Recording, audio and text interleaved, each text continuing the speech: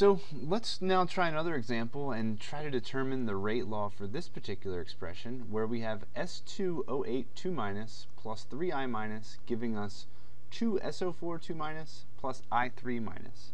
Okay, remember that when we write a rate law, we write it in terms of the reactants.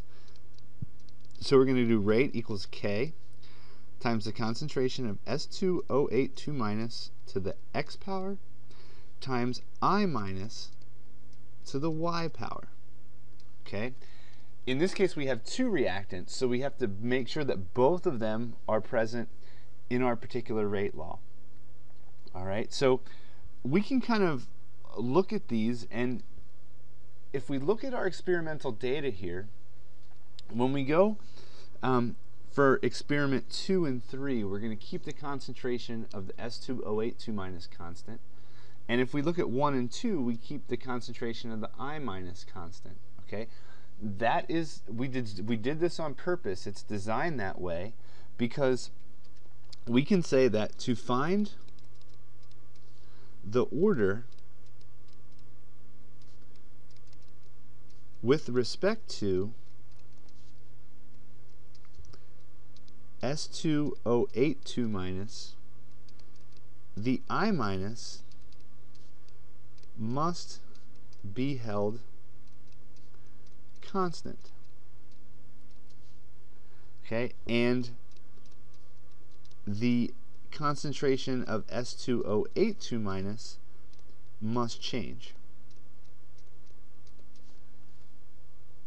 So from this comment right here, we can say to determine x,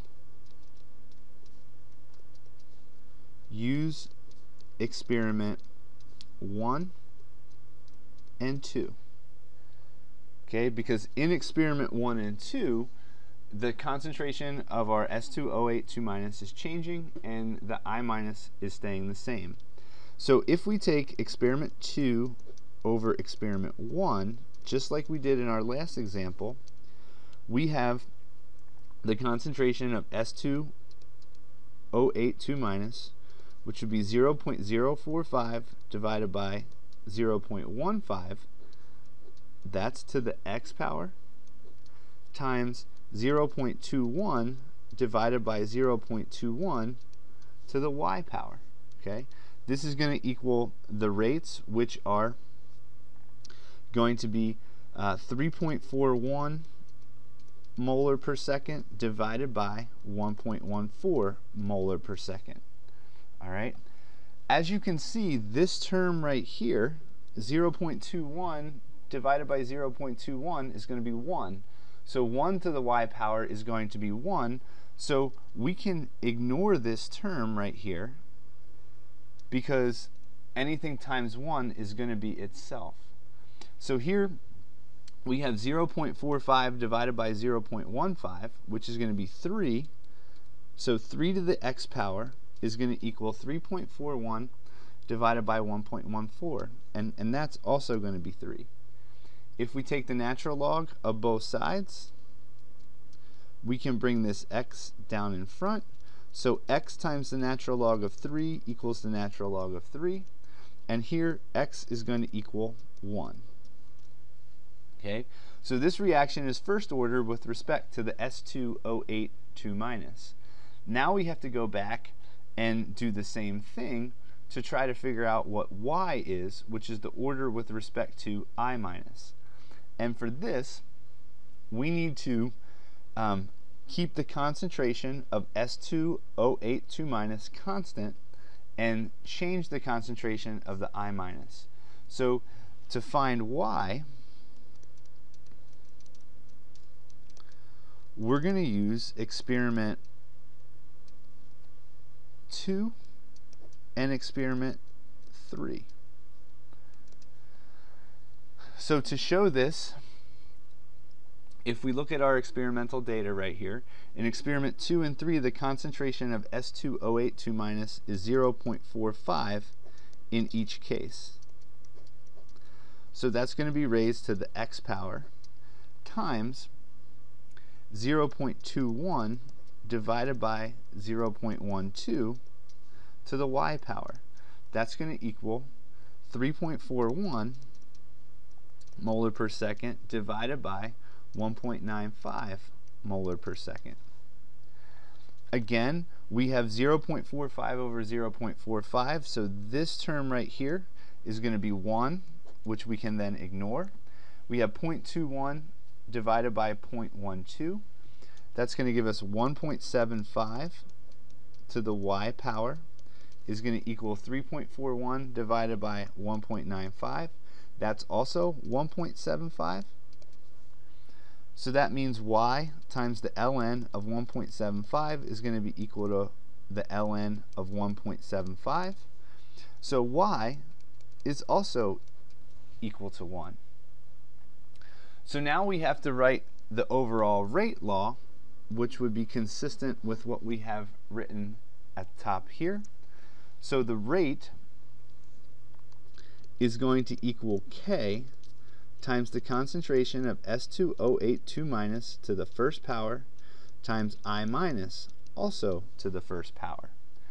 We can now use either one of the three experimental um, data that we have right here to determine K. So I'll just plug in the first one. 1.14 molar per second is going to equal K times the concentration of S2O82 minus to the first power, which is 0.15 molar, times 0.21 molar, also to the first power.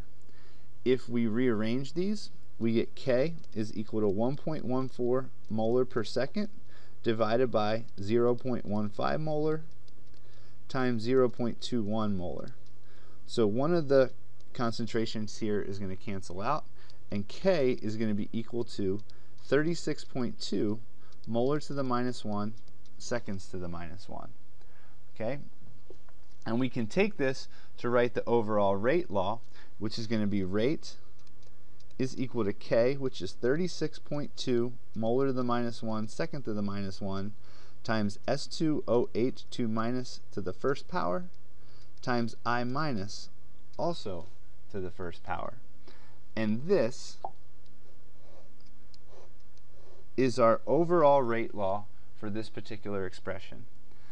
So to kind of recap what we've done here, we can look at, in, in order to determine a rate law, we need to look into experimental data.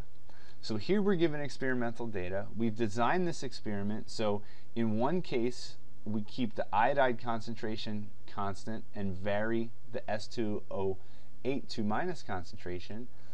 In, the, in another experiment, we keep the S2O82 minus concentration constant and vary the I minus concentration. This is going to have an impact on the particular rates. Notice that when we triple the concentration of S2O82 minus from experiment 1 to experiment 2, the rate triples. Okay, so that kind of tells us, you know, uh, that this will be first order with respect to the S2O82 minus. Okay, we can do the same thing for the iodide, and we go through, we can figure out, the first step is to figure out the order of each of the reactants. In this case, there's two reactants. Sometimes we'll have three, so we'll have to do this thing three times, right? So we can determine that. Then we can go and determine what the rate constant, K, is by looking at any one of the three um, experiments, uh, trials in the experiment, and here I just picked the first one. We get 36.2. So our overall rate law is 36.2 molar to the minus 1, second to the minus 1, times the concentration of S2O82 minus to the first power, times I minus to the first power, which is written down here inside this red box.